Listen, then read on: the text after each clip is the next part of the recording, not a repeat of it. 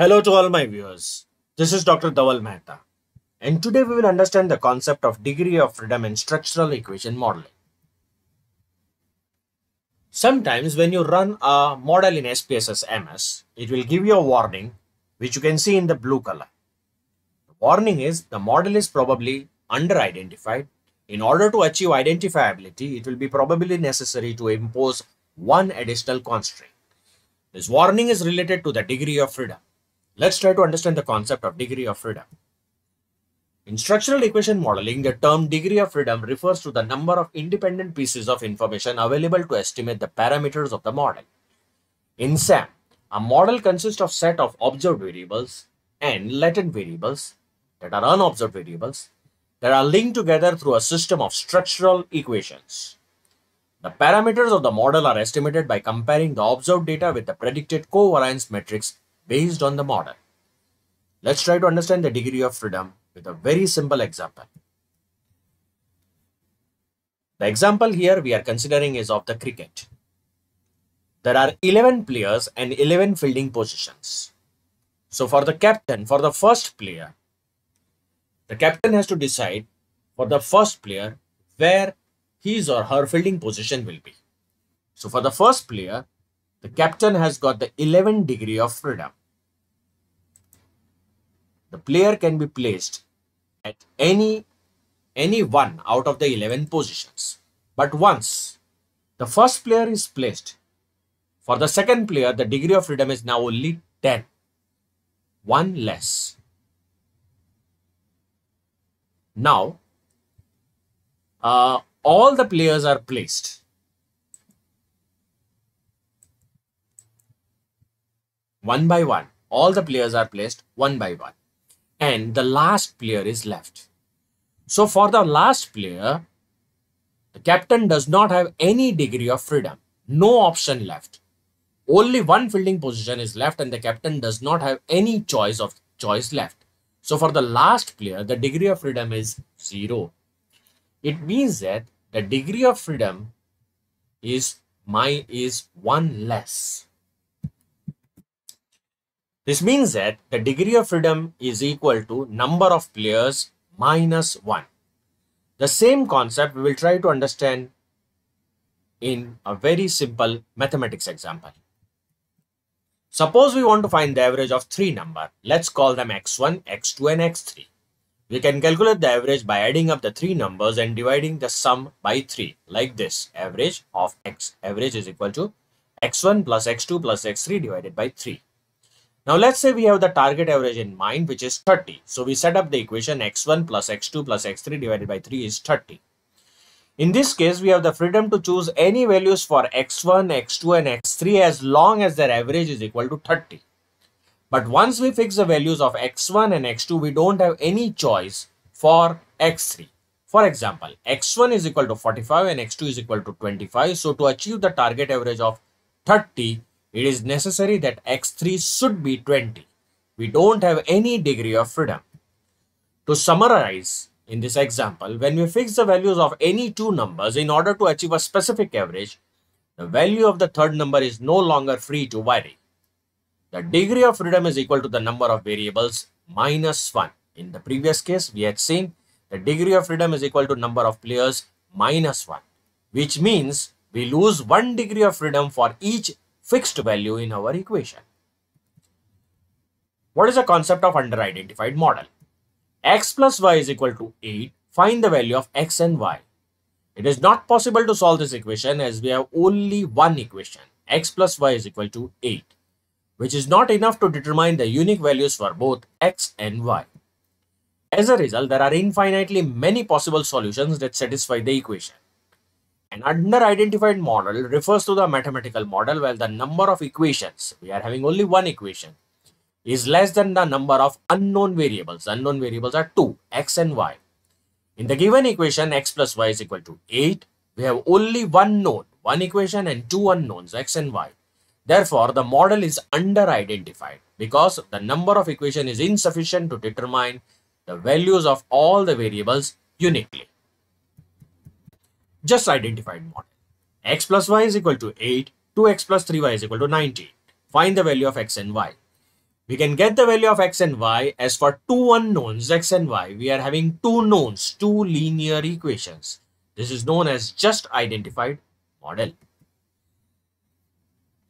the concept of degree of freedom and identification of model we will use here say for example satisfaction is a construct which is captured with the help of two uh, indicator variables that is a and b Basically, A and B are the statements which have been captured on Likert scale from your respondents. So, how to calculate the degree of freedom in this model? So, your degree of freedom is equal to number of known minus number of unknown. A and B are the statements. And as they are statements which have been captured from the respondents, the that is their opinions have been captured on Likert scale. So, we can definitely calculate their variances. So, variances of A that is a statement A, variance of statement B. Moreover, we can also calculate their covariances, covariance of CAB. So the number of known is variance of A, variance of B and covariance between A and B that is CAB. So three known. How many unknowns are there? Factor loading E1, factor loading E2, error term EA, error term EB. These, are unknowns. So four unknown.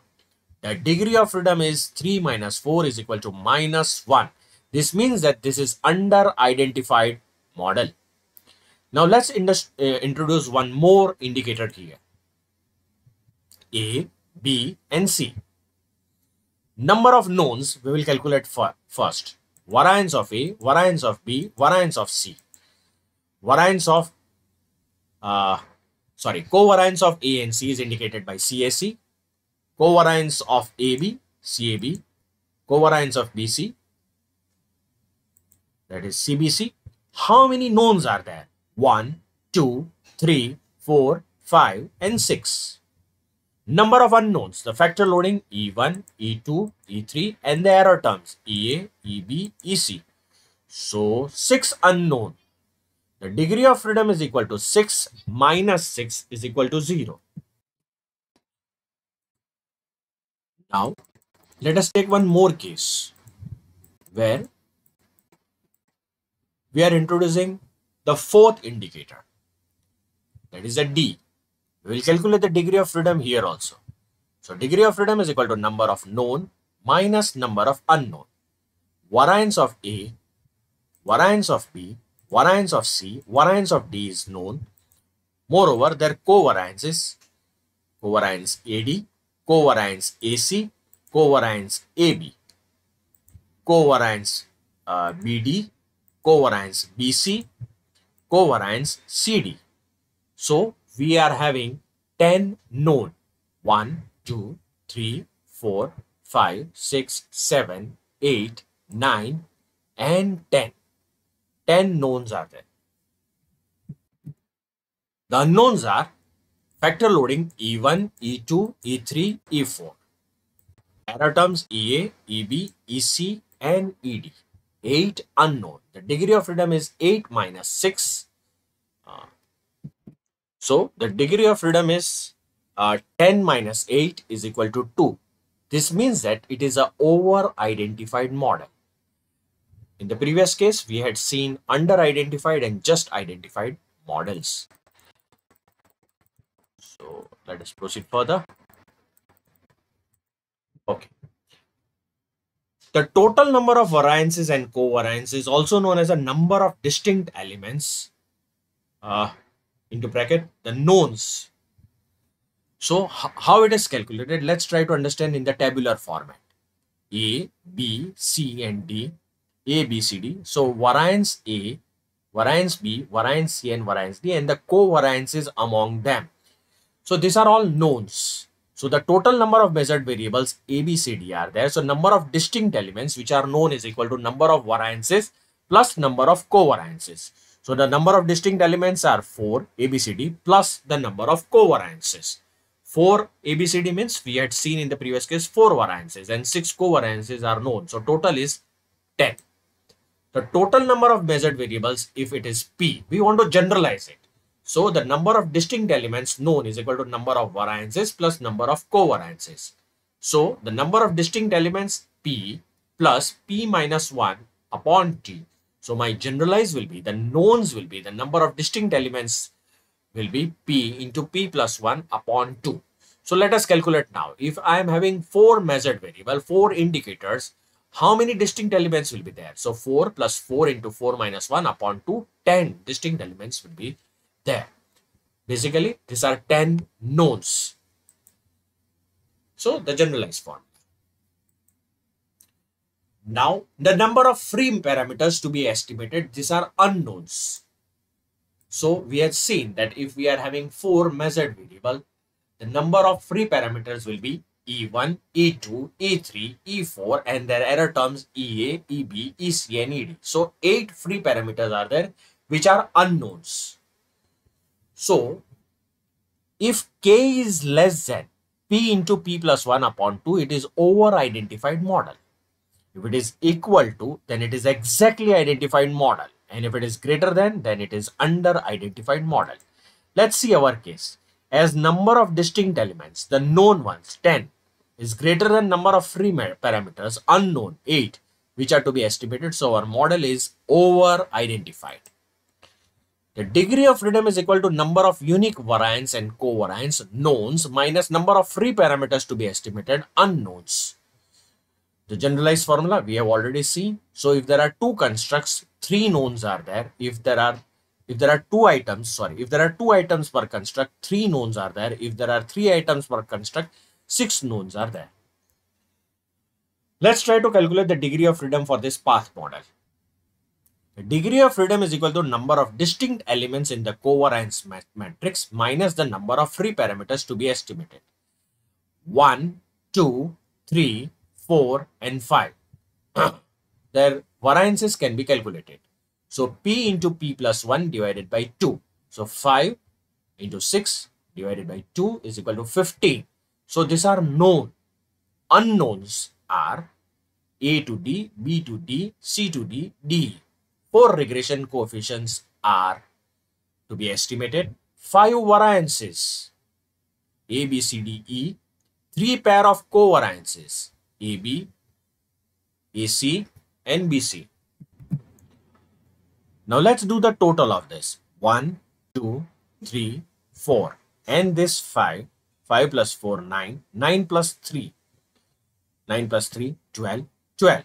So 15 minus 12, the degree of freedom is 15 minus 12 is 3. Let's calculate the degree of freedom for this factor model. Measured variables are measured variables are 6 1 2 3 uh, 4 5 6 4 is not there so 6 are there two factors are there f1 and f2 so first we will calculate the distinct elements. 6 are there. So the generalized formula is p into p plus 1 divided by 2 so 6 into 6 plus 1 divided divided by 2 is 21 Next is 2p. 2 into p. So 2 into 6, 12 uh, model parameters are to be estimated, which are basically the error terms and the factor loadings. How these are 12? Let's try to understand. 1, 2, 3, 4, 5, 6. 6 error terms. Their factor loadings. 1, 2, 3, 4, 5, 6. 6 plus 6, 12. The next part is f into f minus 1 divided by 2. Two factors are there. So how many covariances are uh, exist among them? The formula is 2 into 2 minus 1 divided by 2. One covariance is there. So the degree of freedom is 21 minus 12 minus 1. 8 degree of freedom is there. Right? Now let's try to understand the same thing in AMOS. I'll draw the diagram here. So one construct is represented by two measured variable and let's calculate the degree of freedom here. You will get degree of freedom is equal to minus 1. Let's try to check it.